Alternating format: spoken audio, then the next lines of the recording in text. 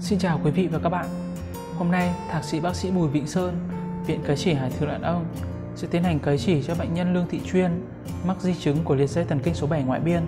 Dây thần kinh số 7 phụ trách vận động các cơ bám da mặt, cơ bám da cổ, xương bàn đạp ở tai giữa. Dây thần kinh số 7 cũng chi phối hoạt động bài tiết của các tuyến nước mắt, tuyến dưới hàm, tuyến dưới lưỡi, tuyến niêm dịch của mũi và cũng nhận thêm vị giác ở 2 phần 3 trước lưỡi và cảm giác vào miệng, cảm giác nông vùng ống tai ngoài và vùng da nhỏ phía sau vành tai. Liệt dây thần kinh số 7 có hai dạng là liệt dây thần kinh ngoại biên và liệt dây thần kinh trung ương. Phổ biến nhất là liệt dây thần kinh ngoại biên. Bệnh có thể gặp ở bất cứ ai, không phân biệt tuổi tác, giới tính. Thưa quý vị và các bạn, liệt dây thần kinh số 7 ngoại biên hay còn gọi là liệt mặt ngoại biên là mất vận động hoàn toàn hay một phần của các cơ của nửa mặt mà nguyên nhân của nó là do tổn thương dây thần kinh mặt. Trái ngược với liệt mặt trung ương là tổn thương liên quan đến não. Hiện nay có rất nhiều người mắc bệnh liệt dây thần kinh số 7 ngoại biên. Bệnh do nhiều nguyên nhân, nhưng khoảng trên 75% trường hợp mắc bệnh là do nhiễm lạnh đột ngột, làm ảnh hưởng trực tiếp tới dây thần kinh số 7, gây liệt mặt ngoại biên.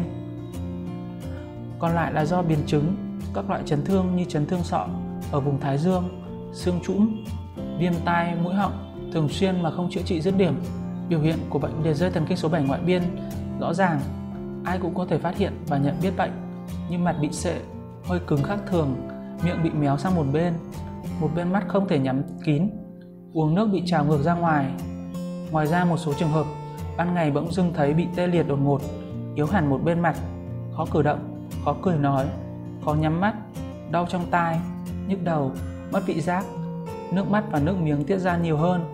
Đối tượng dễ mắc bệnh nhất là những người bị suy giảm miễn dịch, người có thể trạng yếu, phụ nữ có thai, người ít luyện tập thể dục thể thao, ít tiếp xúc với môi trường bên ngoài, người có tiền sử hạ đường huyết, huyết áp cao, huyết áp thấp, sơ vữa động mạch, đặc biệt những người hay uống rượu bia, thường đi sớm về khuya, dễ bị nhiễm gió lạnh. Hiện nay, bệnh nhân thường biết đến châm cứu là phương pháp chữa di chứng để dây thần kinh số 7 ngoại biên. Tuy nhiên, phương pháp này chưa mang lại hiệu quả như những người bệnh mong muốn. Thạc sĩ bác sĩ Bùi Vĩnh Sơn chia sẻ, phương pháp cấy chỉ là phương pháp sử dụng đoạn chỉ cắt hút tự tiêu, cấy vào huyệt đạo của người bệnh. Đây là phương pháp mang lại hiệu quả lâu dài, đồng thời tiết kiệm được chi phí và thời gian cho bệnh nhân.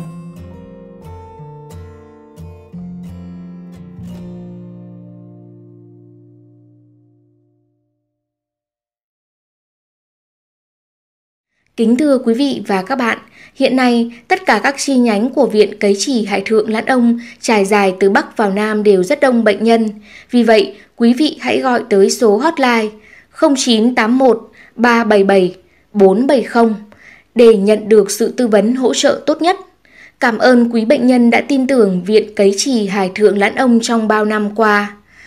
Chúng tôi sẽ cố gắng mở thêm nhiều chi nhánh hơn nữa để quý bệnh nhân không phải đi xa mà vẫn tiếp cận được phương pháp cấy chỉ rất hiệu quả này.